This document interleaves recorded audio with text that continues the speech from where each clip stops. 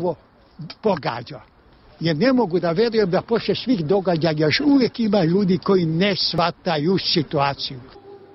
Ovo su reči 88-godišnjeg Aleksandra Singera, koji je preživeo užase Auschwitza, a danas se kao počasni predsednik Saveza jevrejskih opština na dan žrtava holokausta suočava sa rasućim neonacizmom u Srbiji.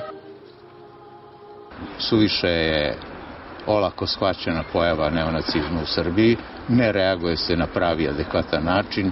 Mi imamo, naravno, ne, ne govorim samo o antisemitskim pojavama, mi imamo uh, ksenofobiju, imamo mržnju prema e, manjinama, prema drugačijim grupacijama, što je apsolutno nedozvoljivo i ne može se tolerisati ni na koji način.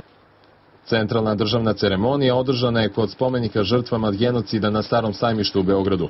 Ministar Rasim Ljajić je nakon polaganja venaca rekao da su u drugom svetskom ratu tokom okupacije Srbije u našoj zemlji počinjeni stravični zločini te da Srbija nije bila poštećena strahota holokausta.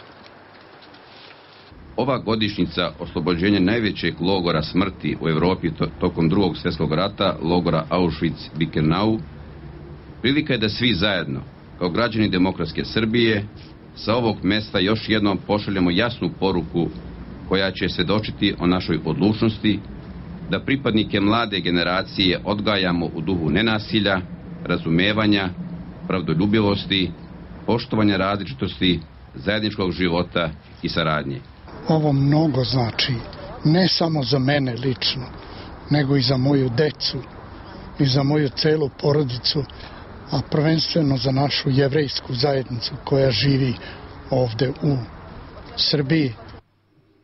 Međunarodni dan sećanja na žrtve holokausta ustanovile su Ujedinjene nacije 2005. godine u znak sećanja na 27. januar 1945. godine kada je Crvena armija oslobodila Auschwitz.